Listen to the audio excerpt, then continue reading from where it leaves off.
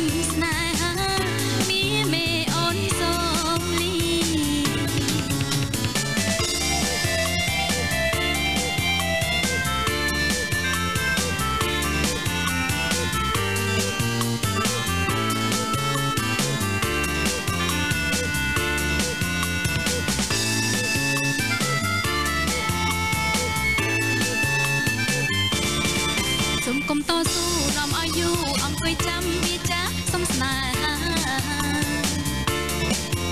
អាងឡានថ្មីជីថ្ងៃស្រីតាមវិថីរូបស្រីមិនស្នេហា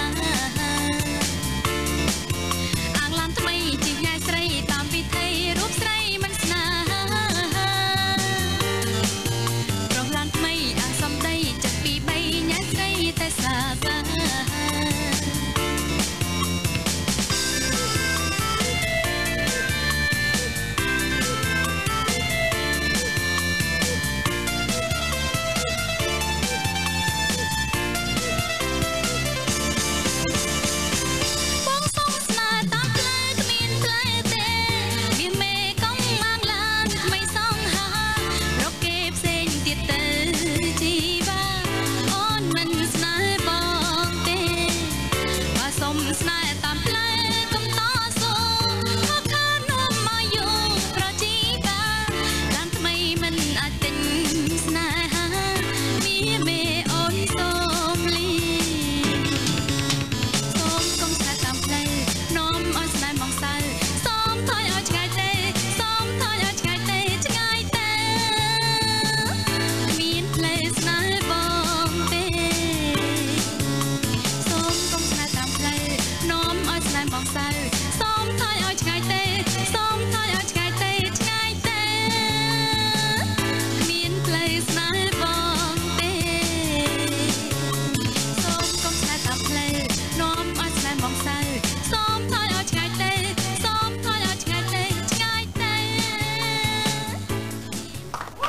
ពៃណីជាតិរបស់ទូរទស្សន៍ជាតិកម្ពុជានាងខ្ញុំក៏មានវត្ថុអនុស្សាវរីយ៍ដែលផ្ដល់ជូនដោយក្រុមហ៊ុន Viniton Group ចង្កាត់ហើយក្នុងនោះដែរក៏មានក្រុមហ៊ុនស្រាក្រហមរូបតេឡាកាសរួមជាមួយនឹងផលិតកម្មខ្មែររស្មីពៀនមាសផ្ដល់ជូននៅកាសែត CD ជូនដល់អ្នកនាងដែរចាសូមអញ្ជើញទចាទូលនេះខ្ញុំសូមអរគុណចំពោះអឺ Benetton អំណោយចាចំពោះអឺម្ចាស់ក្រុមហ៊ុនទាំងអស់ចាទាំងអស់ដែលបានធ្វើចាជាអំណោយដល់នាងខ្ញុំចាសូមអរគុណហើយនាងខ្ញុំក៏សូមអរគុណចំពោះស្ចាថានីយទូរសូមអទរស្សន៍គុណអឺកម្ពុជាដែលបានអញ្ជើញនាងខ្ញុំចូលរួមច្រៀងជាកិត្តិយសដើម្បីអបអរសាទរទិវាបុណ្យចូលឆ្នាំប្រពៃណីជាតិខ្មែរយើងចាចាសូមអរគុណ